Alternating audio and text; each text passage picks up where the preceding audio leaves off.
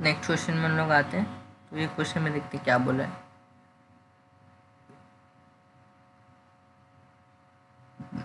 इस क्वेश्चन में बोला है round balloon of radius R subtends and an angle, नहीं round round balloon of radius r subtends an angle alpha at the eye of the observer. यानी कि एक round balloon है are radius का। तो हम लोग को दिख रहा है ये राउंड बलून आर रेडियस है, हम लोग लेंथ इसका पता है आर लेंथ का रेडियस है। क्या बोल रहे angle is beta alpha angle वो कर रहा है आई ऑफ़ द ऑब्जर्वर तो ये हम लोग जैसे हम पहले स्टार्टिंग में डिस्कस किया था ठीक क्या हम लोग लिखते हैं? आई ऑफ़ ऑब्जर्वर ये हम लोग हो गया आई ऑफ़ ऑब्जर्वर तो यहाँ हम लोग की आँख है। ऐसा हम लोग देख रहे हैं। तो यहाँ से हम लोग देखेगा कि ये एंगल पूरा अल्फ़ा था। यानी कि पूरा एंगल जो था, ये था अल्फ़ा तो ये हम लोग लिख सकते हैं, ये वाला एंगल हो गया अल्फ़ा बाई टू ये भी हो गया अल्फ़ा बाई टू डिवाइड हो जाता है मतलब हाफ़ में स्प्लिट हो जाता है। अगर ये लाइन सेंटर सर्कल के सेंटर से ज्वाइन हो और ये दोनों सर्कल के टेंजेंट्स हो, ये और ये। इक्वल लेंथ होगा दोनों का। क्योंकि टेंजेंट्स हैं from one point to circle figure में हमने पढ़ा था।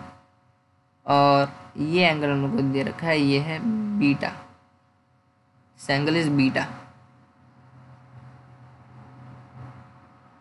ये लेंथ बीटा तो अभी हम लोग को निकालना है हाइट यानी कि C D C D is equal to R sine beta cosec alpha by two ये हम लोग को निकालना है। तो आर तो हम लोग को देखा, हम लोग को ये देख के सबसे पहले ज़्यादा कॉम्प्लेक्स लग रहा है कि ये क्या चीज़ पूछ दिया है। तो सिंपली कुछ नहीं पूछा है। इसने बोला है कि इसको प्रूफ करना है R sine beta by sine alpha by two sine alpha by two तो आपको पता चल गया, ये छोटा एंगल ये वाला एंगल है।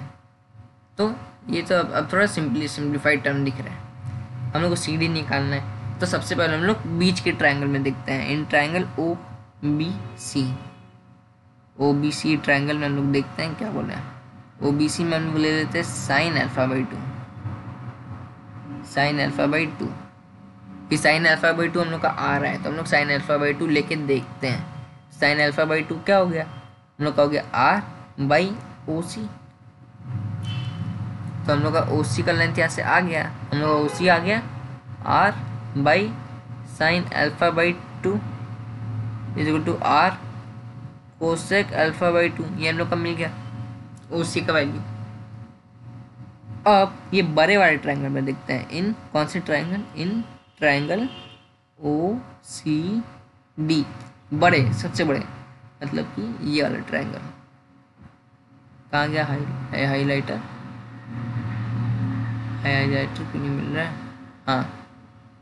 तो ये वाले ट्रायंगल में अभी हम लोग देखेंगे।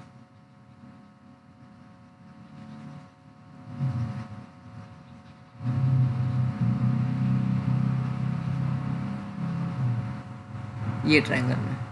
तो ये ट्रायंगल में हम लोग को दिख रहा है कि साइन बीटा का वैल्यू क्या होने वाला है।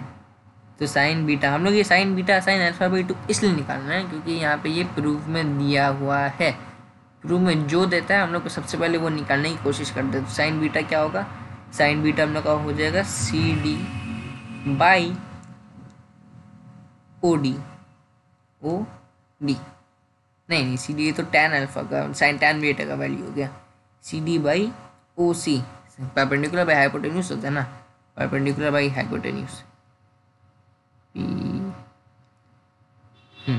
हो गया। तो C D by O C C D का वैल्यू हम लोग को निकालना है। सी डी हो गया हम लोग का is equal to sine beta into O C अब ओ सी का वैल्यू हम लोग को यहाँ पे जो मिला था, कौन सा? ये। ये था उसी का वैल्यू इसको हम लोग यहाँ पर अगर डाल दें तो हम लोग क्या बन जाएगा? Sine beta into R cosec alpha by two और फिर अगर हम लोग सिंप्लीफाई करें C D is equal to हम लोग इसको लिख सकते हैं आर को सबसे पहले, फिर साइन बीटा साइन सिम हो गया साइन बीटा होगा।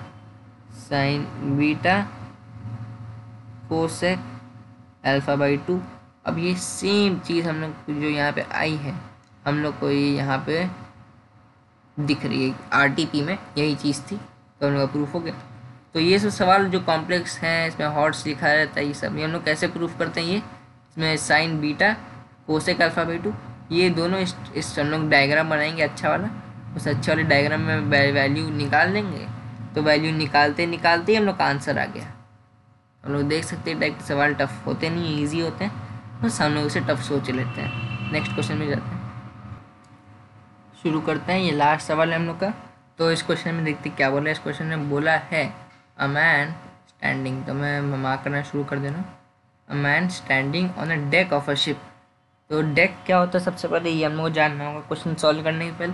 तो डेक ऑफ़ द शिप हम लोग मान सकते हैं कि ये सही है अगर शिप है कोई। तो इसका ऊपरी भाग ऐसे ये हो गया डेक तो इसको हम लोग बोलते हैं डेक डेक पे कोई खड़ा होगा तो आदमी कुछ हाइट पे खड़ा होगा। जैसे आप अगर डेक पे खड़े हैं तो आप कुछ ए हाइट पे खड़े होंगे। तो देखते इसमें क्या बोला which is ten metre above the water level यानी कि डेक ऑफ़ द शिप यानी कि ये वाटर लेवल हम लोग का ए सी हम लोग का वाटर लेवल है। दिस इज़ वाटर लेवल तो हम लोग का ऑब्जर्वर यहाँ पे खड़ा है, शायद बी पे। डेक ऑफ़ द शिप पे खड़ा है। Observe the angle of elevation of a top of a hill तो ये हम लोग फिर से हम लोग मान लेंगे, हम लोग का हिल है लंबा वाला। अब हिल का हाइट हम लोग ले लेते हैं एच देखते हैं कुछ काम आएगा कि नहीं। आगे। तो angle of elevation of top तो ये हम लोग को पता है, ये होता है टॉप और ये होता है बॉटम टॉप का हम लोग को एंगल ऑफ़ एलिवेशन दिया हुआ है। क्या बोला हम लोग को? Angle of elevation sixty degree और angle of depression of base यानी कि ये वाला एंगल ये वाला एंगल नहीं, ये वाला एंगल तो ये वाला एंगल हम लोग क्या बोले थर्टी डिग्री है। हम लोग ये वाला एंगल थर्टी डिग्री ले सकते हैं ऑल्टरनेट एंगल्स और क्या बोल रहे हैं? क्वेश्चन में टेन मीटर अब वाटर अच्छा तो ये टेन मीटर हम लोग को दे चुका है।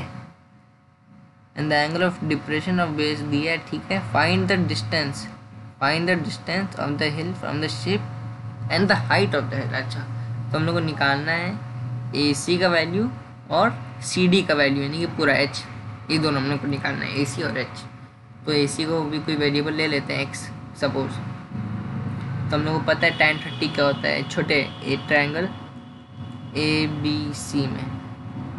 हम लोग को दिख रहा है tan thirty degree is equal to ten by X तो x is equal to ten root three metre ये हम लोग को x का वैल्यू निकल गया। अब हम लोग को निकालना है क्या? सी डी और हम लोग को एक और बात यहाँ पे दिख रही है सी डी निकालते समय। ये जो एंगल है, ये एंगल क्या ये एंगल हम लोग का नाइन्टी डिग्री नहीं है? क्या ये एंगल हम लोग का सिक्सटी डिग्री है?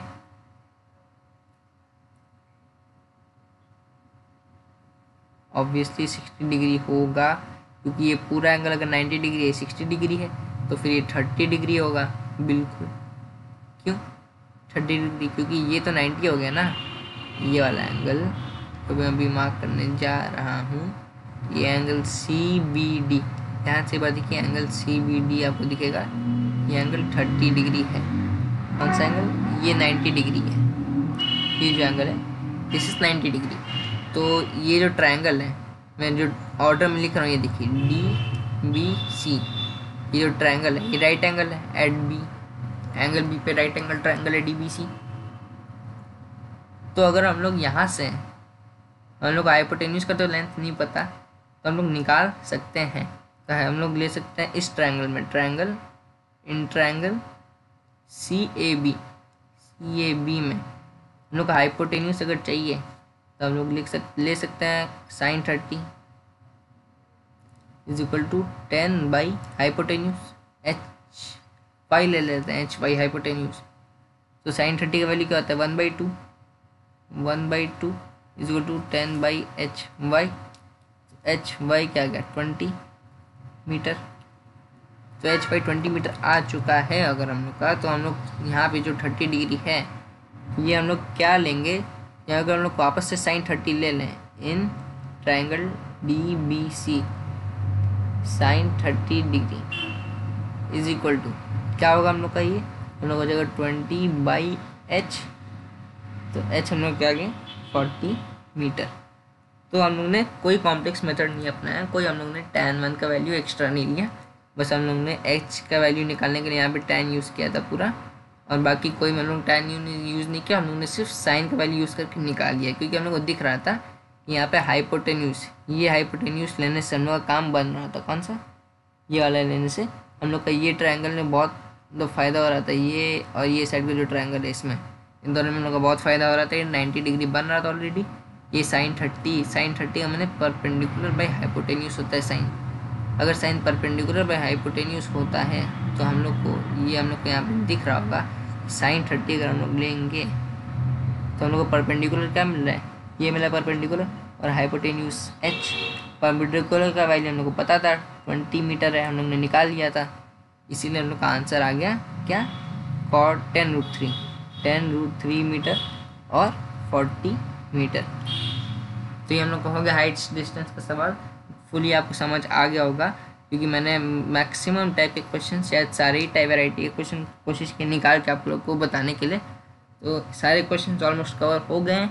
आप क्वेश्चन देखिएगा तो इन्हीं सबसे रिलेटेड होंगे। जो प्रूफ वाले आएँगे, उसमें सबसे पहले देख लीजिएगा क्या प्रूफ में मांगा है।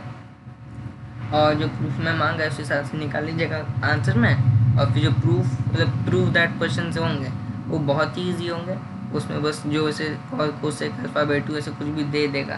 तो मान लीजिए, हम लोग को दे दिया two, sine twenty, cos twenty. तो ऐसे हम लोग साइन ट्वेंटी का वैल्यू दे देगा, उसके बाद ये देगा सवाल फिर हम लोग अगर दे दिया, जैसे कि tan three alpha by two ऐसे करके। और अल्फ़ा का वैल्यू तो कुछ पूरा तो ये स्टैंडर्ड एंगल होगा। तो उसमें हम लोग निकाल लेंगे। क्वेश्चन में वो प्रोवाइडेड है कैसे यहाँ पे ये सब प्रोवाइडेड है, ये डेटा अब देखिए, इस क्वेश्चन ही में कितने डेटा प्रोवाइडेड है? पहला एक, दो, तीन एंगल ऑफ़ एलिवेशन चार डिप्रेशन बोला था पाँच हिल फ्रॉम द शिप छः और हाइट मतलब मांगा है। तो पाँच छः चीज़ें दी हुई हैं और एक दो चीज़ पूछी तो बहुत सिंपल सिंपली निकल जाता है करके। आप अपना बुक से क्वेश्चन से सॉल्व करते रहिएगा, तब तक के लिए नेक्स्ट वीडियो में बनाऊँगा और फिर अपलोड कर दूँगा बाद